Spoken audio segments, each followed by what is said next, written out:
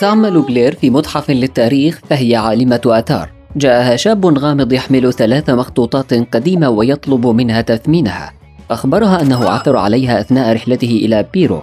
هناك مخطوطة وحيدة غير مزيفة من بين الثلاثة. هل يمكنك تحديدها؟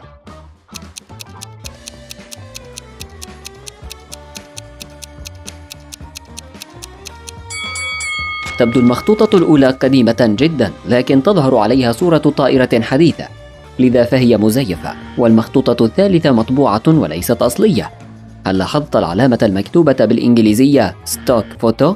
وبالتالي فالمخطوطة الثانية هي ليست مزيفة أخذت بلير المخطوطة الرئيسية إلى المختبر من أجل دراستها بشكل أفضل هل يمكنك رؤية أي شيء غريب في هذه الغرفة؟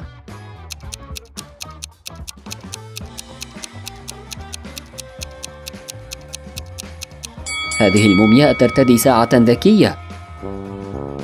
اكتشفت بلير أن هذه المخطوطة عبارة عن خريطة لكنز لكن فجأة انطفأت المصابيح في المختبر لمدة 30 ثانية. وعندما عادت الكهرباء اكتشفت بلير أن المخطوطة اختفت. سألت ثلاثة من زملائها.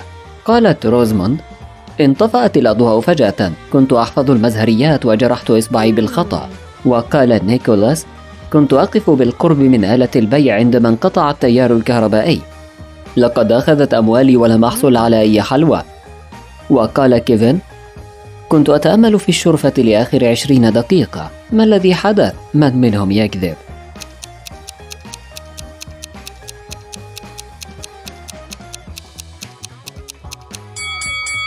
قال نيكولاس إنه لم يحصل على أي حلوى من ماكينة البيع لكن انظروا إلى يده اليمنى. وروزموند تكذب أيضا لأن جميع أصابعها بخير.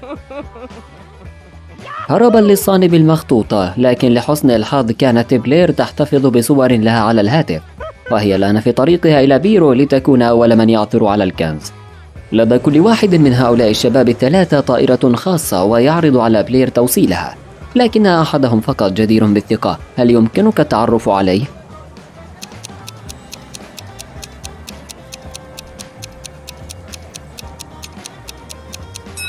الشاب الثاني مجرم هارب وصورته معلقة على الجدار وطائرة الشاب الثالث بلا زجاج أمامي لذا ينبغي أن تختار بلير الطيار الأول.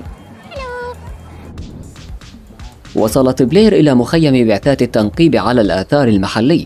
وقيل لها أن تقصد رئيس المخيم بيل في الخيمة الحمراء. تجولت بلير في الأرجاء حتى عثرت على ثلاث خيمات حمر. هل يمكنك مساعدتها في معرفة خيمة بيل؟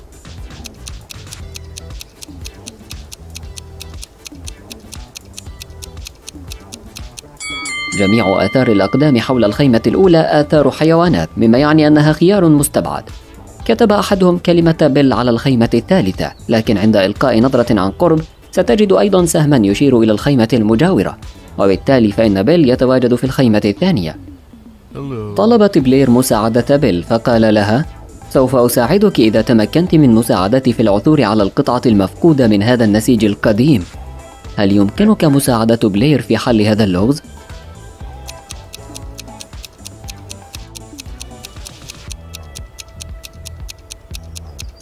القطعة الثالثة فقط هي المناسبة.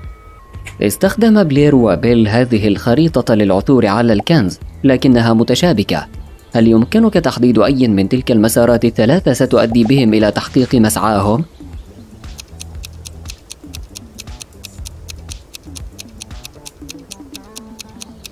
المسار الثاني فقط هو الصحيح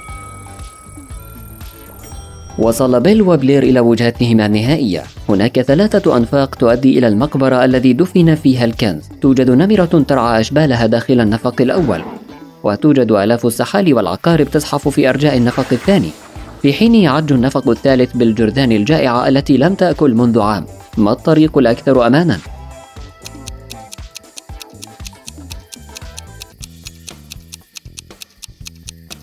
الطريق الثالث بإمكان الجرذان أن تصمد دون طعام لمدة طويلة مما يعني أنها ليست خطرة وجد الاثنان نفسيهما في ردهة فارغة لسوء الحظ الكنز محفوظ وراء هذا الباب.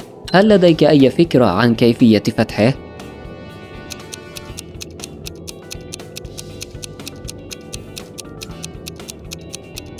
توجد ثلاث عجلات على الباب تحتوي كل منها على خمسة رموز. إنها قفل قديم الطراز.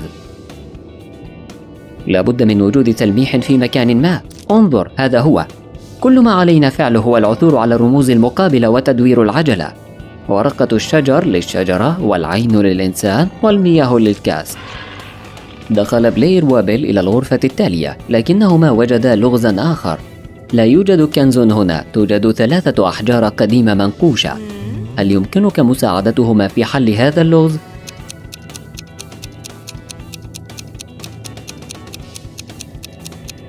تنمو الطحالب والحشائش على أول حجرين بالتساوي بينما الحجر الثالث مكشوف تماما ما الذي يجعله مختلفا؟ ينبغي أن يجرب تحريكه لفتح الباب السري وأخيرا دخلت بلير وبيل إلى داخل القبر إنه مليء بالذهب والأحجار الكريمة لكن توجد ثلاثة مخاطر خفية في هذا المكان هل يمكنك رصدها؟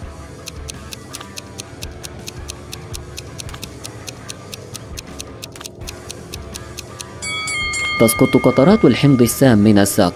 إن كانت تذيب الأحجار فما بالك بجسم الإنسان؟ كما يختبئ ثعبان بين العملات الذهبية. أما هذا التمثال فيتحرك. وفجأة قفز التمثال الحي نحو بلير وبيل لكنهما هربا وعثرا على ثلاثة أبواب تؤدي إلى الحرية. لكن الباب الأول تشتعل به النيران. ويوجد الكثير من الصراصير الضخمة المقززة داخل الغرفة الثانية. بينما الغرفة الثالثة مليئة بالفخاخ والكمائن هل يمكنك مساعدتهما على اتخاذ القرار السليم؟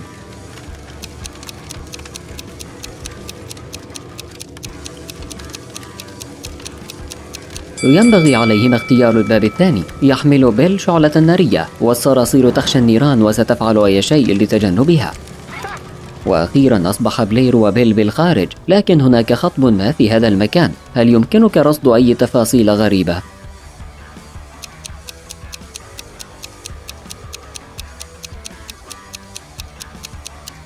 ألق نظرة على هذه الشجرة. تثمر تفاحا وبرتقالا معا وهذه الصخرة طافية في الهواء. كما أن ظل بيل يتجه نحو اليمين بينما يميل ظل بلير نحو اليسار. عادت بلير وبيل إلى المخيم. أرادت بلير إرسال صور الكنز إلى السلطات لكن شبكة الإنترنت كانت ضعيفة والاتصال بطيء. لذا قررت الاستحمام أولا. وبعد قليل عادت بلير واكتشفت اختفاء هاتفها المحمول. سألت ثلاثة أشخاص قريبين من المكان. قال دييغو كنت مشغولا بطهي العشاء وبإمكان الكثيرين تأكيد ما أقول. وقال بيل ربما أعداؤك من المتحف سأطلب من الحراس تشديد الحراسة حول المخيم. وقال بيل ربما أعداؤك من المتحف سأطلب من الحراس تشديد الحراسة حول المخيم. وقالت مايا أعتقد أنني لمحت رجلا يخرج من خيمتك منذ خمس دقائق. إذا من سرق الهاتف يا ترى؟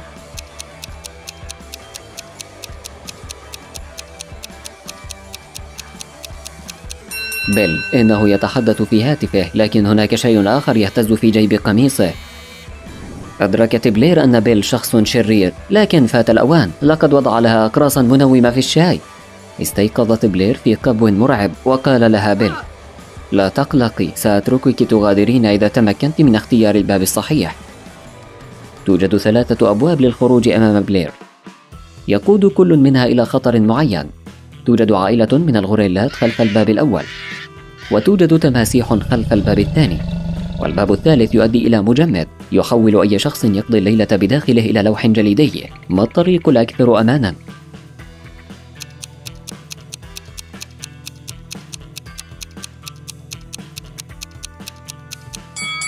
ينبغي على بلير اختيار الخيار الثالث إنها تحتاج إلى عبور الغرفة فحسب وليس عليها أن تقضي الليلة بالداخل. تجولت بلير في الأدغال حتى عثرت أخيرا على الطريق.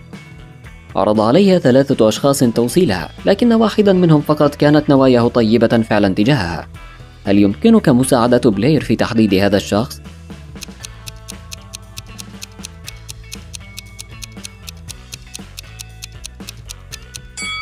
راكب الدراجة النارية شفاف جدا على أن يكون آدميا لأنه شبع وهذه السيدة في السيارة الفارهة معها وحش شرير يختبئ في المقعد الخلفي لذا ينبغي على بلير الوثوق في سائق الشاحنة مع علاماته الوديعة.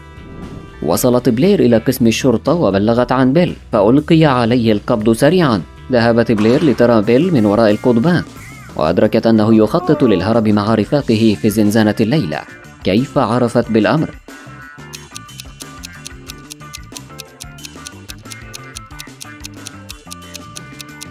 رسم بيل تعليمات مصورة على الجدار وهي شفرة تعني الهروب الليلة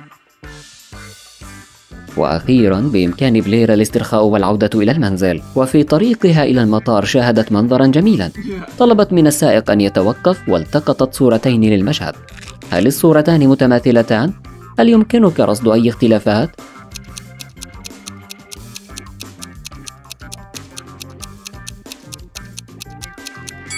هناك ثلاثة اختلافات. وصلت بلير إلى مكتبها لكنها عثرت على زميلها المفضل كيفن راقدا على الأرض فاقدا الوعي. اتصلت بلير بالإسعاف فورا. أخبرها الأطباء إن كيفن تعرض لتسمم سأل ضابط الشرطة ثلاثة أشخاص كانوا آخر من رأى كيفن قبل أن يفقد وعيه نينا وكريس وياسمين. وبعد فحص مسرح الجريمة ألقى الضابط بالقبض على أحد الشهود. هل يمكنك معرفته ومعرفة السبب؟